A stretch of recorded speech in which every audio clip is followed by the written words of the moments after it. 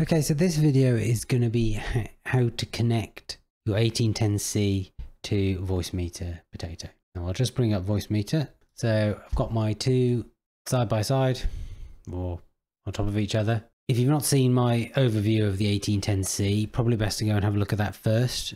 Uh, but if you are specific, if you know what you you know what you're doing, you just want to see how you connect these two together, then you can then you can just stay with me here for now.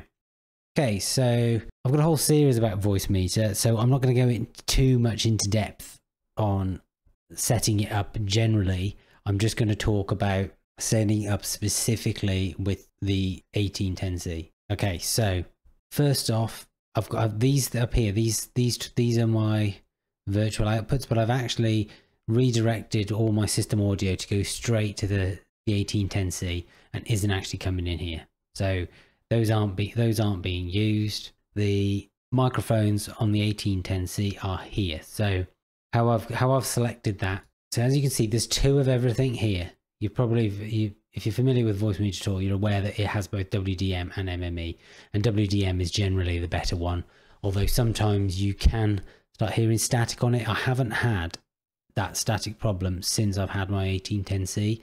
On my previous audio interface, it would happen periodically. I would I would get it, and then changing it to MME sorted the problem out. And MME still sounds fine for the most part, but WDM is um, supposedly better.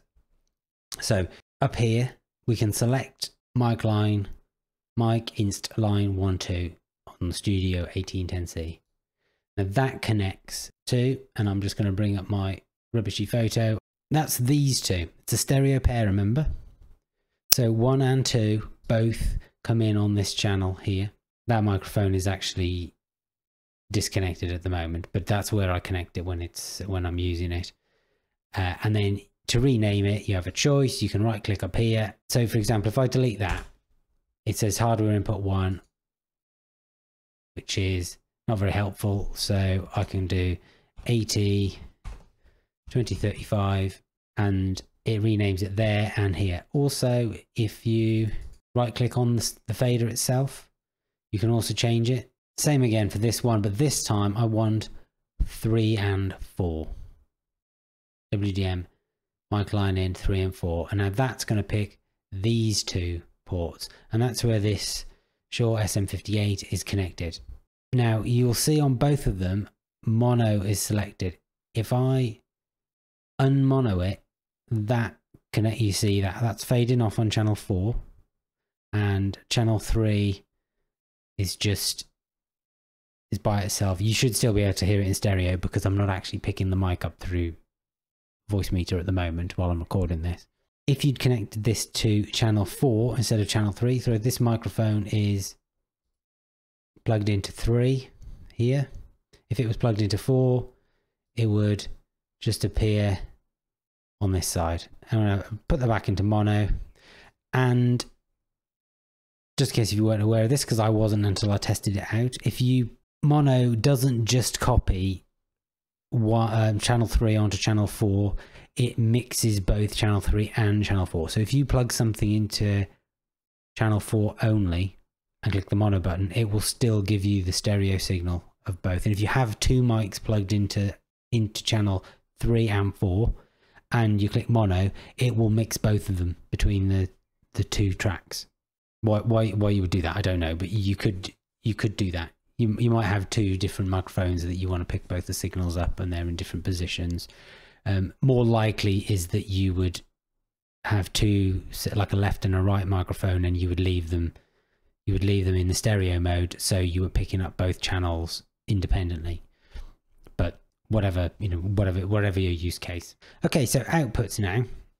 Up here is where you control your output devices. I can send that to whichever of my outputs i want to and there are four sets of outputs which are these four channels here. And those correspond to let me get the sound control up again. Okay so the outputs are these four sets here. Four sets of four pairs. Main out, one, two, line out, three, four, line out, five, six, and SPDIF out. 1, 2, 3, 4, 5, 6, and SPDIF.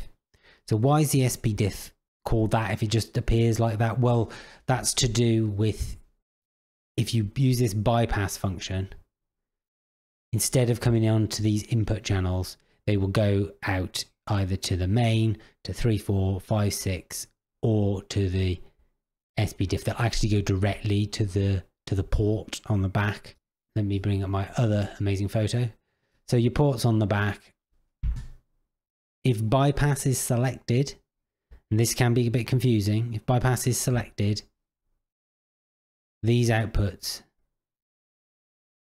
main one, two comes, goes straight out there. It doesn't go, doesn't go through those fade, these, this set of faders. It just goes straight to one, two. If bypass is selected, three, four goes to three, four, five, six goes to five, six, and SPDIF goes to SPDIF out. The top one there.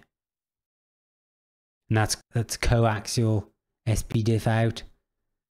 Remember I said last time this ADAT optical port isn't SPDIF. That's the ADAT standard, so it's it's not compatible with the normal what you not get on a normal hi-fi amp or the the motherboard SPDIF out that you'll get. Okay. However, in our case, bypass isn't selected. We haven't got bypass selected, so those four channels come in there. But that just explains why they're named the way they are, because they don't need to be. If they can be sent to any of these outputs, why do they need to be named like that? But that's that's for when bypass is selected. They're named like that.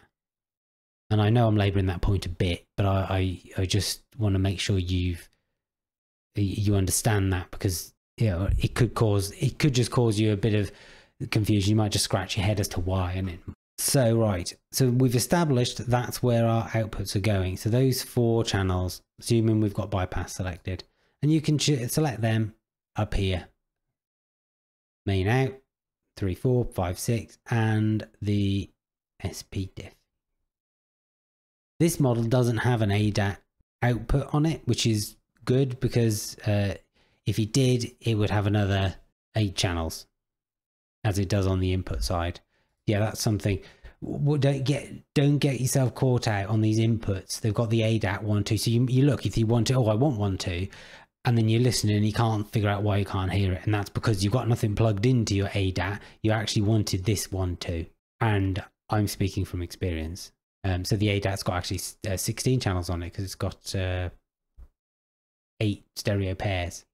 So okay, So in this case, I've just decided I'm going to use the SPDIF one. I could have used any of the others, but I'm not going to. I'm going to use the SPDIF, and it, it doesn't matter. So that that that one comes in here. This blue one. If I'd have picked one too, it would have been there, so on, so forth. Uh, and the reason I've actually the reason I've chosen that one is because the other three are being used for other stuff at the moment, and I'm just using that as like a as a spare one. So now anything I I play through that will come out of that channel. So th this is just be as a as a simple setup. We've got one microphone and we've got one out, output. I've renamed that headphones, but really it, it could be audio interface SPDIF, or it could be speakers. It could be whatever. As I've got it set up, these two, uh, the speakers on my front monitor and speakers on my right right hand monitor, so those aren't going through the audio interface. The that SPDIF, I actually set up that as part of my Voicemeeter video guide, and that's actually that's using the optical output on the motherboard. So that's that's where that's set. But this one is being sent to the audio interface, and it could be sent by any of those channels. So there's nothing actually going out to it because nothing's being sent. So I'm just going to unmute it and I'm going to send the microphone I'm recording on over there. So I can actually hear myself talking now. Um, it shouldn't make any difference to you. And I'm going to just open the, and you can see now the signals come in here. Um, I'm just going to demonstrate something I was talking about in the last video. That's muted, but I'm still hearing myself. It's still coming back out here. Um, so whatever I do, it doesn't matter because this is going to the computer via US, USB. It comes in and it ignores this and then sends it back out. this only affects what goes out of the main. So I can hear myself, but I'm hearing myself through this. If I mute that, I can no longer hear myself, but the signal is still coming in. And if I unmute it and turn the volume right down, I, can't hear myself again. Now, if I was to unmute that, and I'm just going to do it, and I'm probably going to regret this. Um, yeah, I can hear myself echoing. It's not it's not as bad as I thought it was going to be.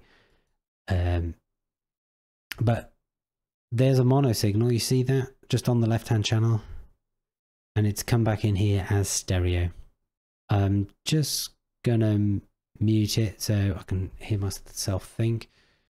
Uh, I'm just for the demonstration. I'm going to show you if I change that to main one two. Um, it doesn't really make much difference. I can hear myself talking again now, but it's I'm here now. See the signal's over here. So it's just used a different one. And just and I'll put that back on the SPDIF one. Just just a bit of an explanation of what I have done. If you've seen my Voicemeeter videos and I explained how you route your system, Discord or music into this, you could send those all out to your audio interface through here. Like you could give use three of these channels for those those three things. Like a so that a one could be the system, a two could be the Discord, and a a three could be the music. Oh, um, yeah, I wanted to I wanted to mention this loopback. Now the loopback I've selected is is virtual one two. Now that's set up from firstly here. You select virtual. If if virtual's not selected, then it won't appear as a as an input. Where is it? There it is. It's there. If you don't have that selected, that will disappear. So yeah, so the virtual. Now the virtual works, and I explained this a bit in my last video. If you select mix one two, I mean I think that's named wrong. I think it should be mic one two.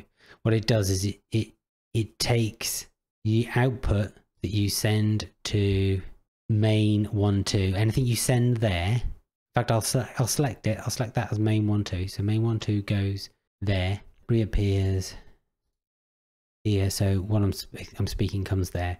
Now, if you select